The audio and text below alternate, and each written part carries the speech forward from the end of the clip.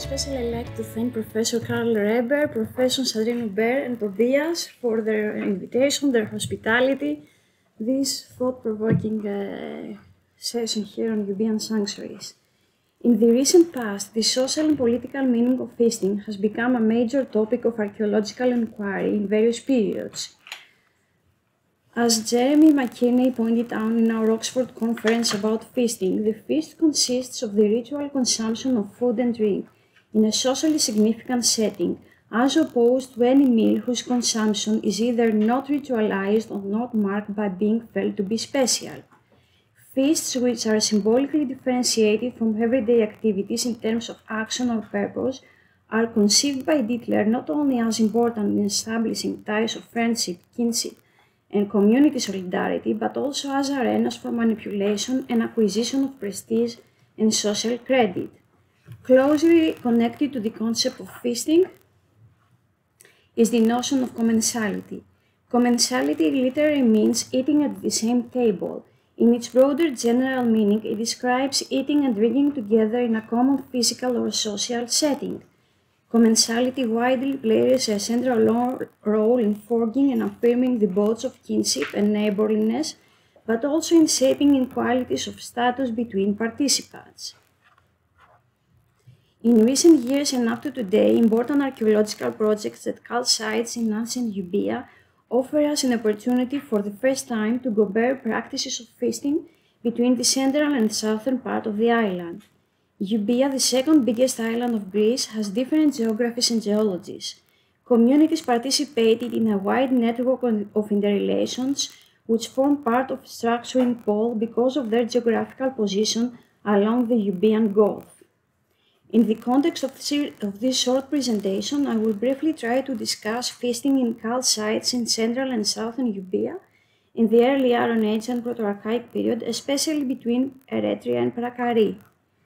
Variables to be discussed are the importance of the sites, the forms and functions of building structures, drinking and eating equipment, and faunal data.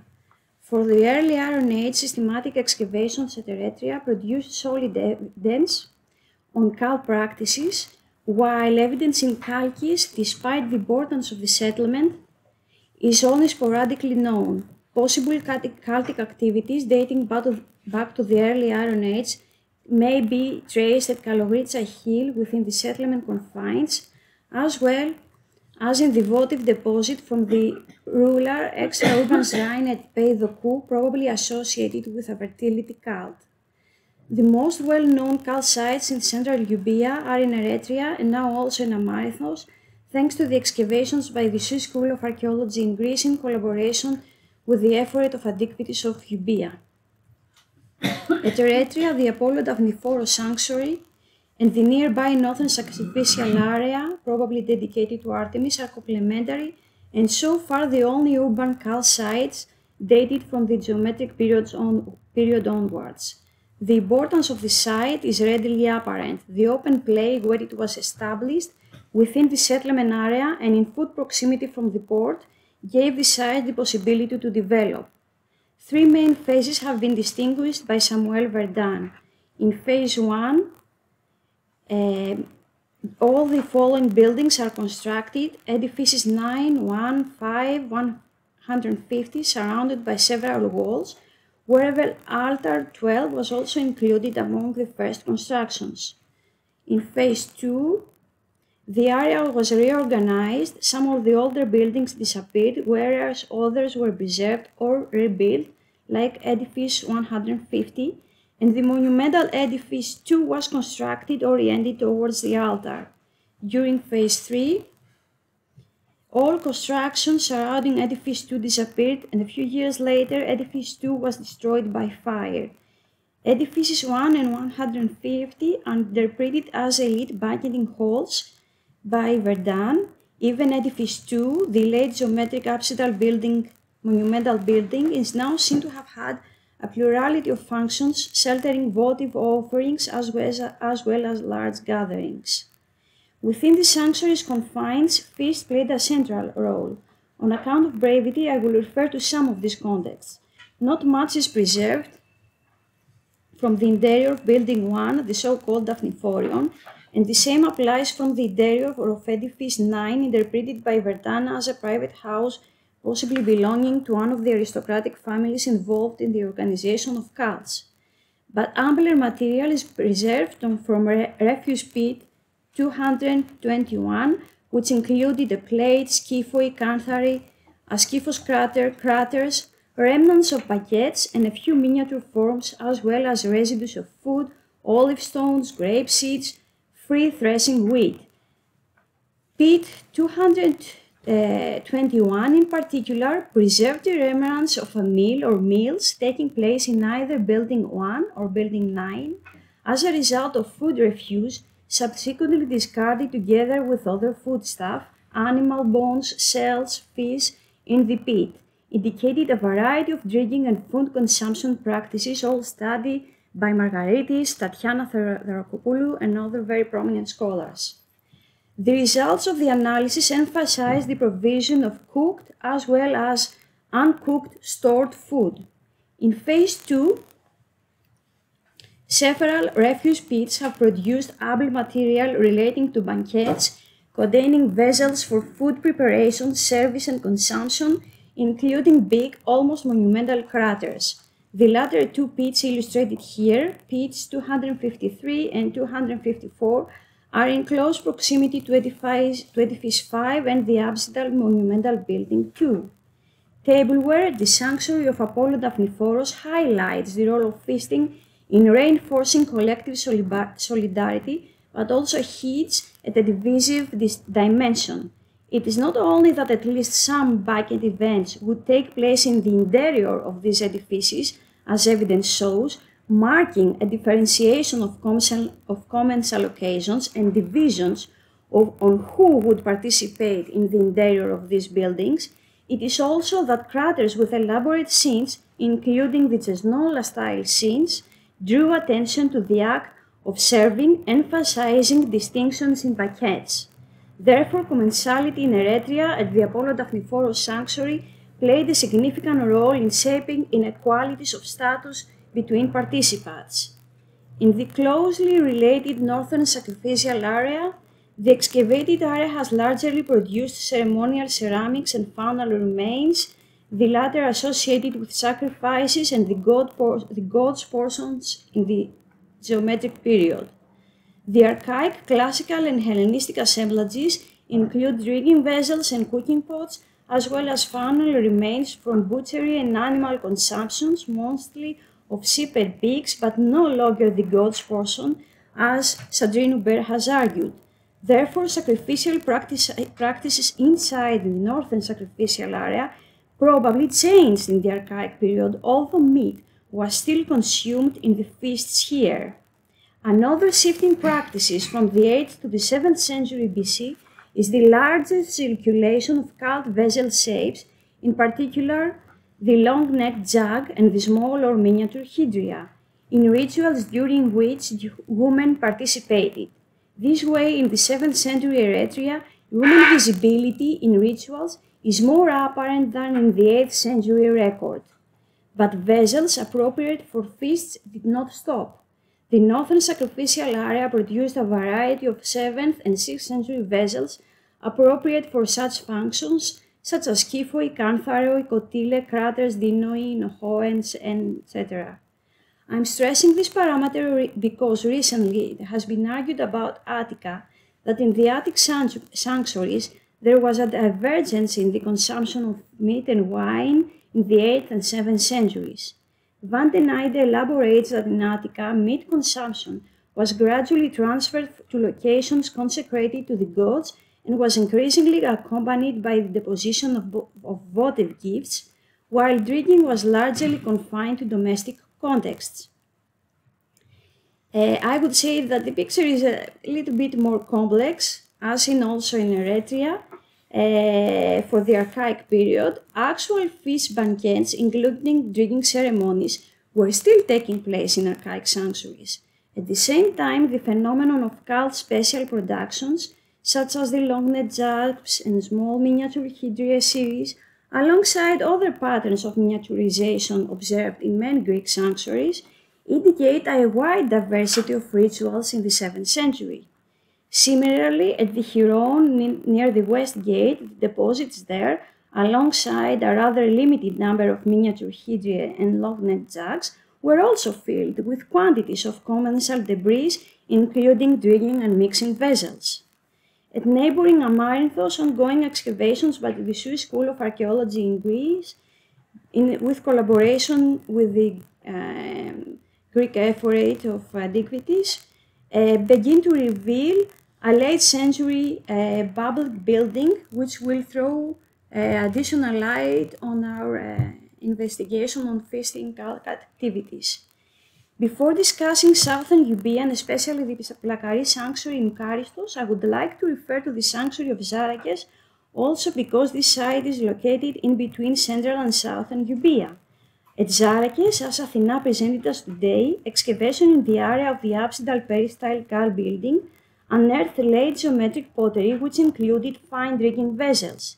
In the 7th and 6th centuries BC, in addition to the fine wares, coarse uh, wares comprising mainly relief pithoi that Athena showed us and luteria for mixing uh, included also other shapes, this coarse ware production, including luteria for mixing and pouring. If these luteria are of local production, this shape may indicate a local tradition related to commensal practices in the sanctuary, and it demonstrates the production of certain types of coarsewares used for ritual purposes, which thus far are distinct from Eretria, from central Euboea. In southern Euboea, the hillside of Plakari that lies in close proximity to the Karystian coast is to date the most important sanctuary discovered in Karystos representing early Iron Age occupation. Recent excavations at the site have been conducted under the direction of Professor Jan Paul Crielaard of VU University Amsterdam. The importance of the site, the hilltop of Plakari, is ostensible because of its easy access to maritime networks connecting Plakari with Attica, the rest of Euboea and other Aegean communities, especially the northwestern Cyclades, as we will see later on. No traces of an early Iron Age stable or another monumental cult building have been preserved, but as Jan Paul argued, we may consider other kind of uh, constructions in uh, the open air area like stone uh, elements. A large deposit of material, you see it here named 1, Trench 1, located on the south slope of the summit of the hill along the southern limits of Terrans 1 is our Trench 1. In later periods, archaic and classical, evidence for the location of cult activity comes from the flat area termed Terrace 2. You see it just above Trench 1, immediately north of Trench 1, where various cult installations, including Building A, uh, Maria showed us a detailed uh, uh, reconstruction of the graffiti in this building, are probably pantry and storage space for cult equipment and valuable goods. Trench 1 yielded more than 32,000 pottery fragments, over 26 fragments of animal bones, and more than 40, uh, 430 small finds. The pottery, small finds, and animal bones were all found within a thick layer, layer of gravel. In several places on the hill, on the hill slope, certain categories of finds were clustered together, for instance, small concentrations of trench pins or sherds from the same vessel. It seems that this open-air sacrificial refuse area, as we call it, includes intentionally lay, laid out material remains resulting in a deposition characterized by care in special patterning. Residues of sacrifices, feasting and dedication practices such as animal bones, iron knives, charcoal, tableware, cooking pots, bulk storage vessels, together with votives, pendants, rings, pin, nails, fibulae, knives, figurines, and plastic vases, all indicate a wide range of cult practices which were probably held in the vicinity of this secondary deposit. It is possible that the final act of secondary deposition could have occurred as a single event. This assemblage dates from the proto-geometric period, we even have a sub-Mycenaean candidate, geometric and archaic periods with deposition peaking in the 8th century BC, but there is a small number of classical sets that may indicate the, the time of the final act of the deposition related to the classical phase constructions just above trench 1 in terrace 2. Such an intentional deposition can indicate perception of the sacred and enhancement of memory and coherence and ensures the worth of future rituals. The main repertoire of ceramic material belongs to cooking, several and consuming vessels. Results of my quantitative analysis will be published with the final publication of the site, but other categories from the fine pennied pyxiders to coarse bulk storage vessels, which are present but in smaller numbers. Among the fine small upper forms, one-handled cups used for drinking ceremonies and or libations outnumber their hundreds coming from the rims and bodies, as well as cantharoi. These are the scyphoi here, more scyphoi.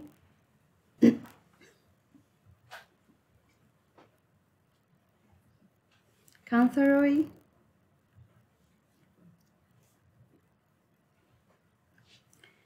Scyphoi, as we see here, of different sizes, eh, a shape that might have been used for drinking but also for food consumption, pouring vessels as well as lecanides, bowls, the latter used also for eating, the la this latter shape. There is only a small number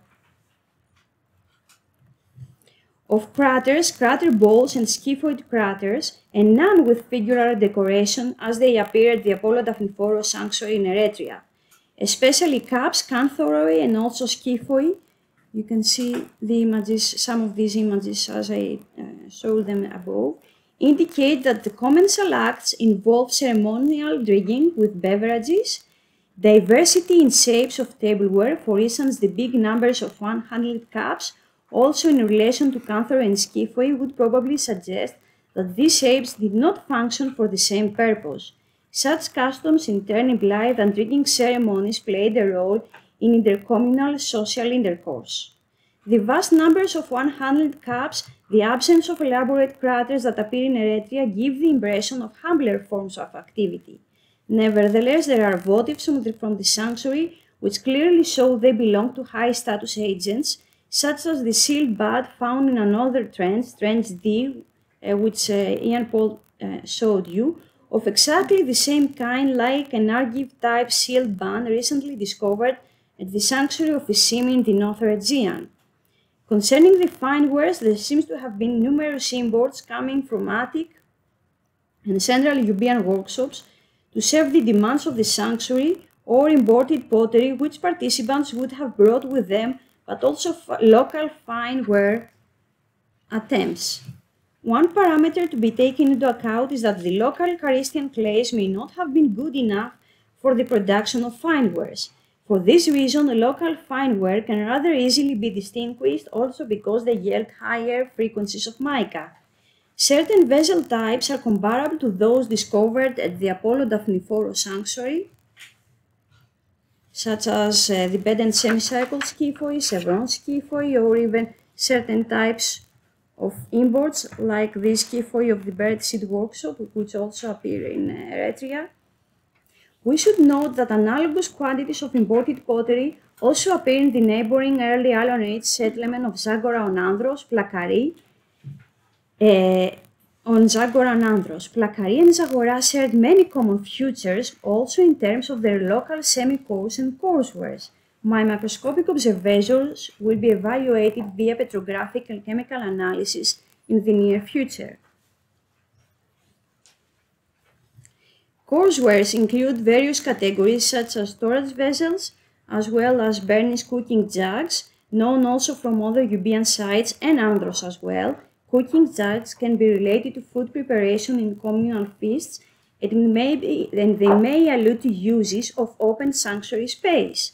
Some of them preserve blackened surface as a result of being used over fire. The big number of actual cooking pots in Trench 1 may even imply that food was prepared and consumed in family-shaped groups. In addition, special categories of semi-coarse to coarse ware often include either independent stands or fenestrated food attached to vessels of various sizes. Most such ware could fit to normal or maybe even small-sized cooking pots, and if it is so, they may be related to cult meat consumption practices. There are also some small closed forms like this one, which may have been used for other purposes. A hypothesis might be to offer first fruit offerings. Such ware are possibly local and they are differentiated from what we know from Central Euboean cult practices. Similar pots are also found in Andros and therefore they may form part of a larger koine. They may form part of distinct Southern Euboean traditions. It is worth noting that the vast majority of the Plakari figurines are also possibly made of the same or similar semi-coarse fabric. Other ceremonial vessels, such as the Eretrian long-necked or small miniature hydriae, do not seem to reach Plakari. The range of vessel shapes in combination with the presence of faunal remains and iron knives indicate, indicate that drinking ceremonies, animal sacrifices, and the consumption of meat are among the focal points of cultic activities on the Plakari sanctuary. Dr. Mike Good has done the uh, analysis of the animal bones where sheep, goat, cattle, pig, uh, pig predominate. She identifies uh, parts of the animals that could be used for the goat's uh, portion. Uh, other faunal remains, shellfish, uh, marine, such as shellfish, were consumed too, but in moderate quantities, whereas Daphne Lendi's analysis of the archaeobotanical micro remains shows a variety of agricultural species found in Trench 1 deposit, including grave pipes, pulses, cereals, and grass seeds. The agricultural products may have been consumed as part of ceremonies and feasts and are used for fair fruits offerings, and there are several ceramic assemblages, such as our bulk storage vessels that could have been used to store these products, or even these uh, small uh, pots uh, may be for first fruit offerings. concluding remarks. Sanctuaries provide a unifying space, but at the same time commensality shapes inequalities of status between participants. The materiality of feasting is evident both in the Celtic, in the of Central and Southern Euboea, but in Eretria, at least in the 8th century, there seems to have been a clearer picture of the diacritical use of commensal occasions. The importance of a site is of course an important parameter to take into account. The Apollo Daphnephoros sanctuary seems to have a more central position in Euboean cult rituals rather than the more peripheral sanctuary of Plakari. Certain types of tableware appear both in Eretria and Plakari, whereas I believe significant quantities of fine wares, mainly small opal forms, were imported to serve local demands in uh, the sanctuary or even in the Plakari settlement. Or on the other hand, there is a small number of craters in Plakari in relation to the amount of craters found on the Apollo Daphnephoros sanctuary, and this may either be a matter of wealth disposal, a matter of diverse drinking practices, especially if we connect this phenomenon with the abundant number of 100 cups at Plakari or both. Furthermore, there is a wide range of coarse and semi-coarse ware at Plakari. To date, these semi-coarse categories, which include special products, fenestrated stands or food, as well as more closed forms, do not occur in Eretria. There seems to have been a slightly different emphasis in the production and use of fine and coarse wares in Central and Southern Euboea, possibly relevant to craft specialization and also what the local workshops could produce could produce based on the availability of their local resources and traditions. Thank you very, very much, and also for your patience.